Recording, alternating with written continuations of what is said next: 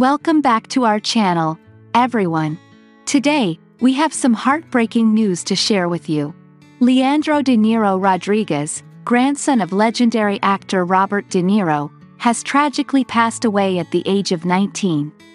In this video, we'll provide you with all the details surrounding this devastating loss and the reactions from the family, friends, and the Hollywood community.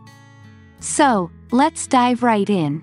Leandro's parents, Carlos Rodriguez and Drena De Niro, were seen arriving at Drena's Manhattan home after paying tribute to their late son. Both parents waved away attention from the media as they snapped photos of the grieving parents. The couple shared a statement on Instagram expressing their immeasurable shock and sadness over Leandro's untimely passing. They thanked everyone for the outpouring of love and support and requested privacy to process their inconsolable grief.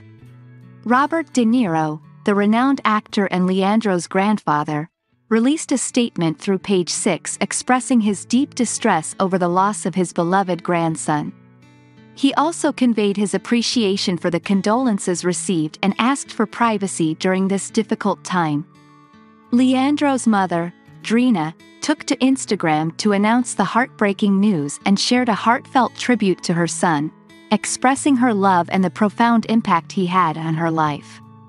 Leandro, following in the footsteps of his famous family members, pursued a career in acting. He starred alongside his mother, Lady Gaga, and Bradley Cooper in the critically acclaimed film, A Star is Born, in 2018.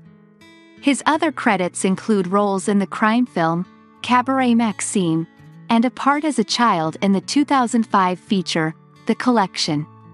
It's clear that Leandro had a promising future ahead of him in the entertainment industry.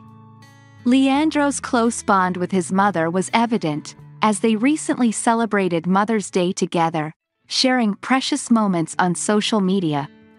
The news of his death comes just a month after Robert De Niro announced the birth of his seventh child with his current girlfriend, Tiffany Chen. The joy of welcoming a new life has now been overshadowed by the devastating loss of Leandro.